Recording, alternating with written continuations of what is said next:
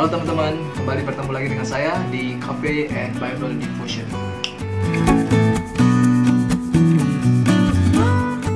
Hari ini kita akan lanjut kembali Mazmur pasal 91. Video sebelumnya saya sudah sharingkan rema dari ayat 1 dan 2. Nah, hari ini kita akan lanjut uh, di ayat yang ketiga dan selanjutnya.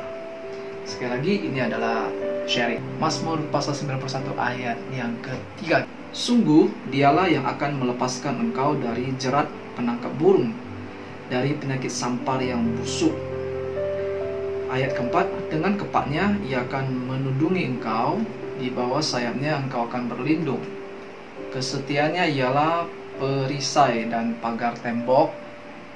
Ayat 5, engkau tak usah takut terhadap kedahsyatan malam, terhadap panah yang terbang di waktu siang, terhadap penyakit sampar yang berjalan di dalam gelap, terhadap penyakit menular yang mengamuk di waktu petang. Walau seribu orang rebah di sisimu dan sepuluh ribu di sebelah kananmu, tetapi itu tidak akan menimpamu. Engkau hanya menontonnya dengan matamu sendiri dan melihat pembalasan terhadap orang-orang fasik. Sebab Tuhan ialah tempat perlindunganmu yang maha tinggi telah kau buat tempat perteduhanmu, malah petaka tidak akan menimpa kamu, dan tulah tidak akan mendekat kepada kemahmu. Ayat 3 sampai ayat 10 dulu. Oke teman-teman, jadi uh, begini poin-poin rema saya biasanya saya tulis begini ya. Ini masing-masing biasanya ada nomornya, jadi ini seperti uh, apa ya rema yang saya dapatkan jadi saya tulis ada poin-poinnya di sini nomor satu nomor dua nomor tiga dan biasanya itu di masing-masing ayat atau ada beberapa ayat tertentu.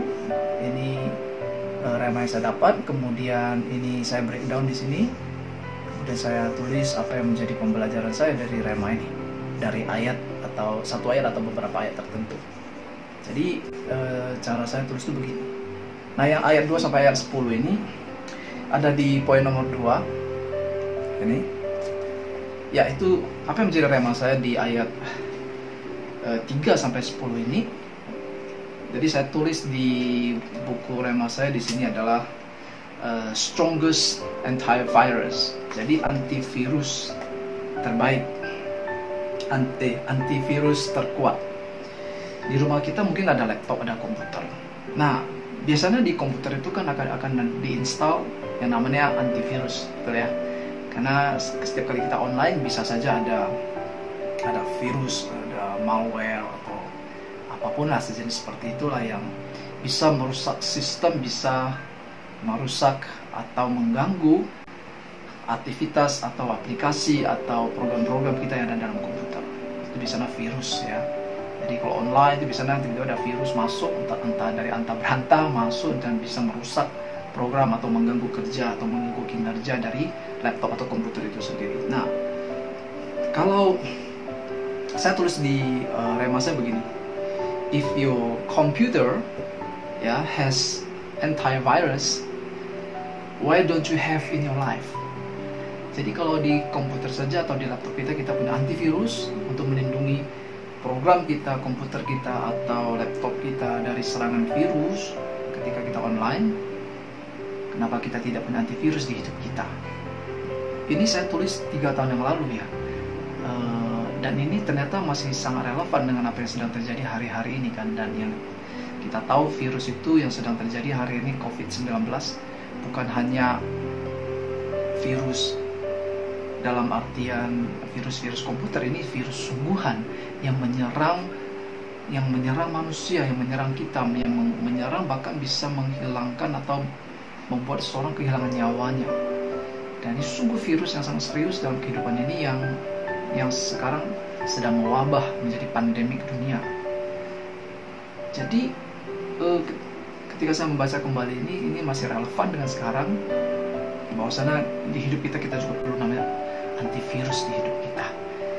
Ya selain tentunya kita harus uh, tetap mengikuti anjuran-anjuran yang ada, kita harus sering-sering cuci tangan, jaga kesehatan, jaga kebersihan. Keluar itu harus pakai masker sekarang dan harus uh, social distancing, harus jaga jarak. Yes, kita harus lakukan itu karena itu baik bagi kita juga baik bagi orang lain. Nah tapi tentunya di hidup kita kita juga perlu namanya antivirus yang tak kasat mata yang tidak terlihat. Di ayat 4 dituliskan begini dengan kepaknya ia akan menundungi engkau artinya melindungi engkau. Di bawah sayapnya engkau akan berlindung kesetiaannya ialah perisai dan pagar tembok. Jadi antivirus di dalam hidup di dalam hidup kita yang saya tulis di dalam remasa adalah antivirus di hidupmu adalah ketika engkau berada di dalam naungan kepak sayap Tuhan. Di dalam naungan perlindungan Tuhan di situlah antivirus hidup kita. Sama seperti ketika virus mau menyerang komputer atau laptop itu ada antivirus yang membentengi dan uh, mencegah mereka untuk masuk.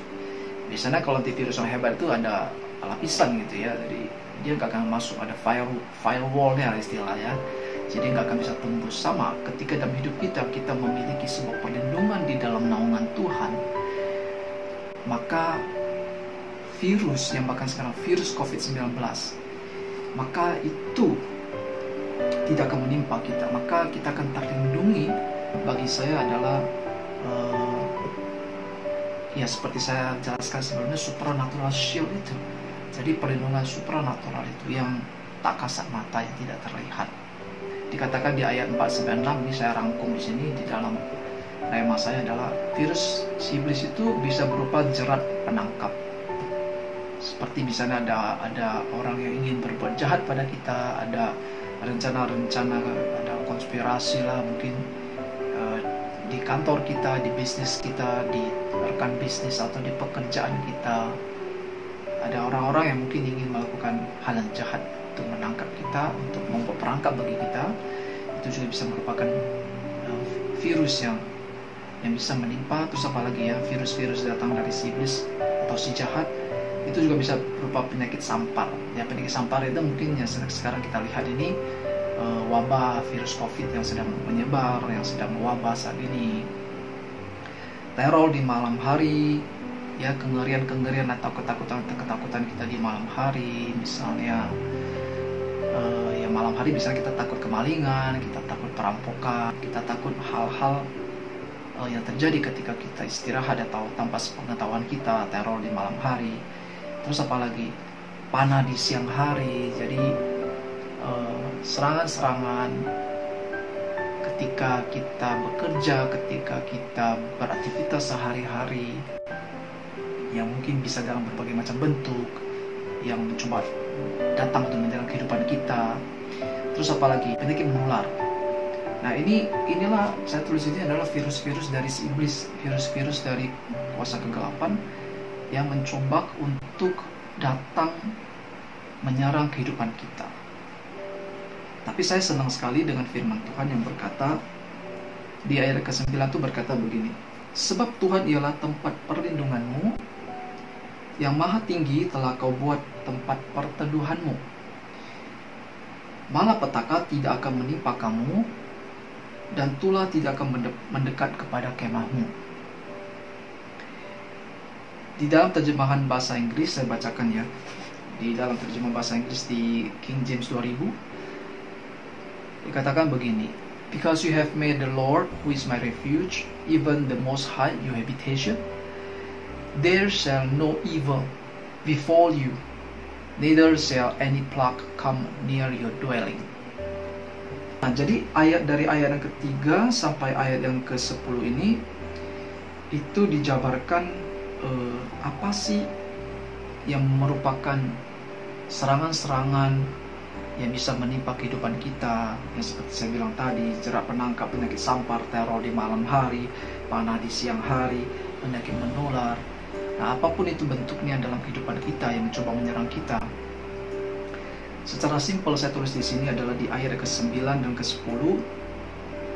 Jadi rema saya adalah begini, saya tuliskan begini. Beginilah firman Tuhan, engkau tak usah takut.